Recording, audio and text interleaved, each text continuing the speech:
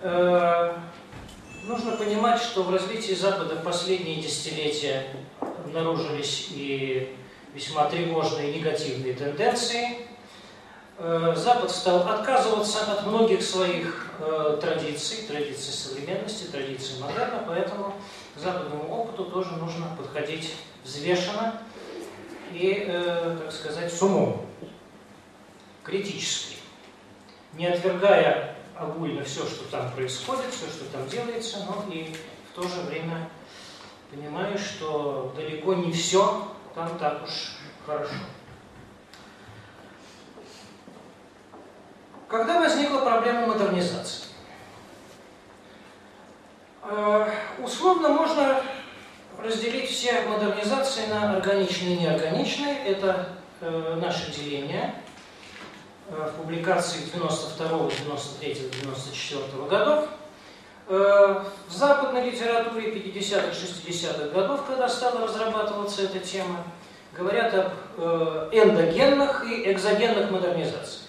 Эндогенная модернизация – та модернизация, которая, так сказать, идет снизу, это самомодернизация общества, она присуща именно западным странам, где и капитализм исторически вырастал из деревенского базара, из структур повседневности э, на протяжении долгих э,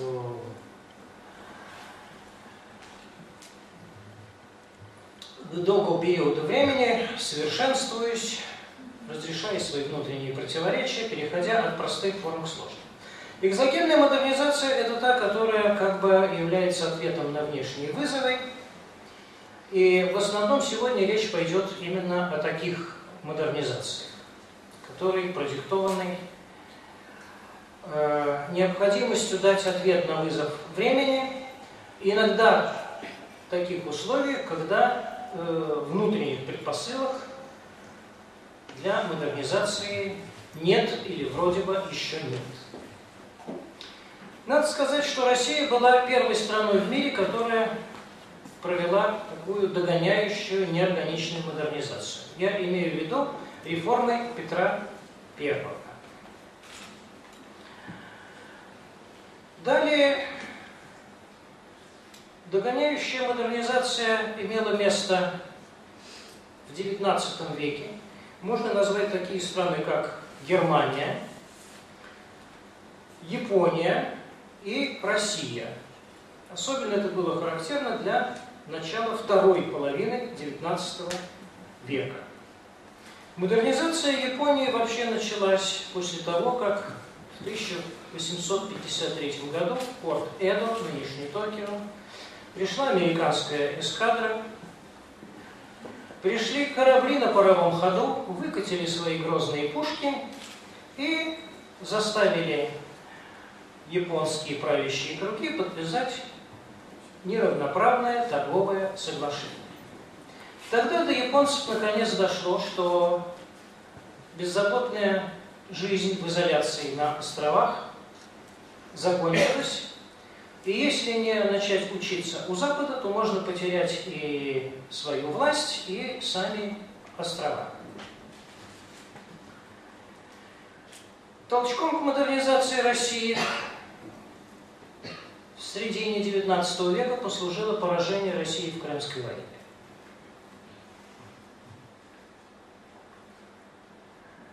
Далее, необходимо отметить и опыт советской России в плане ускоренного, форсированного развития. Кстати, все серьезные теоретики модернизации на Западе в 50-е и 60-е годы э, неоднократно обращались к опыту Советского Союза рассматривая его как э, один из возможных вариантов ускоренного, форсированного развития,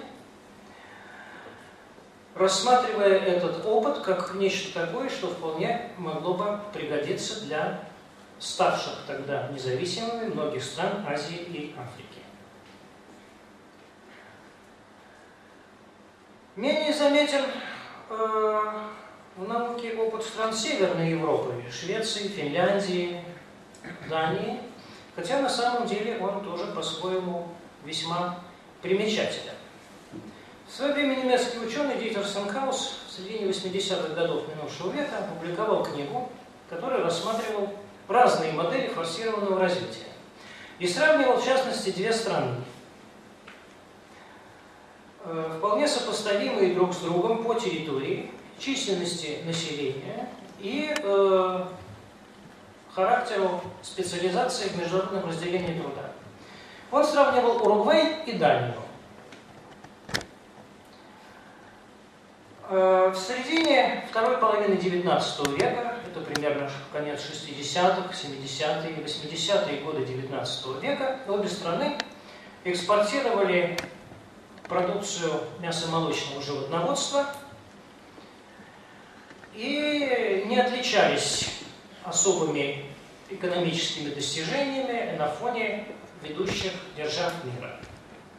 Но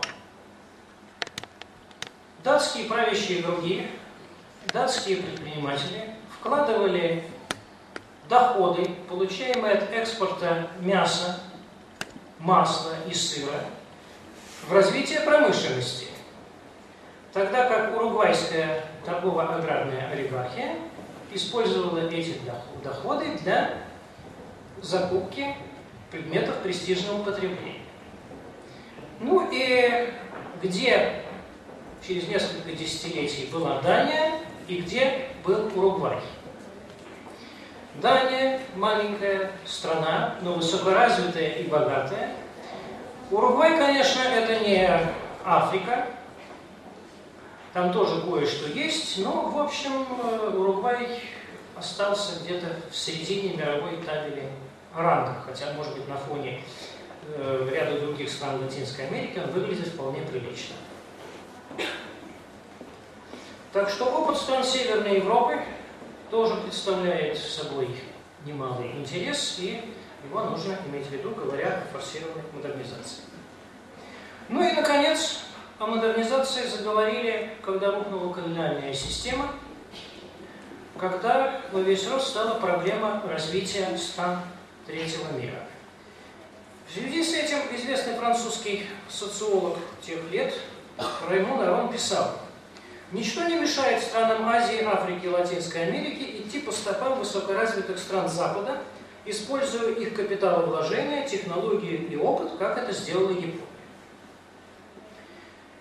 Правда, вскоре оказалось, что сделать это им мешает очень многое, и даже Япония, как выяснилось уже позже, в 90-е годы 20 -го века, то есть совсем недавно, не сумела завершить модернизацию, особенно в плане социальных отношений.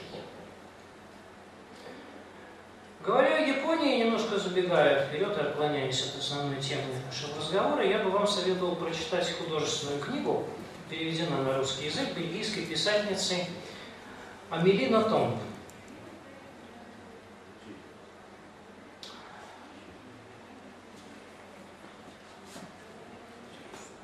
Э, в которой описана работа японской корпорации. Вот это художественное произведение, сейчас даже, к сожалению, не вспомню точное название, как-то так экспромтом в голове, э, позволяет понять, почему Япония, как выразился один мой коллега, из страны восходящего солнца превратилась в страну падающего индекса. Казалось, что вот те самые традиции, да, которые японцам долгое время помогали ускоренно развивать индустрию, пришли в противоречие с новыми вызовами. То есть японцам нужно прежде всего переделать самих себя. Кстати, та же самая задача стоит и перед нами.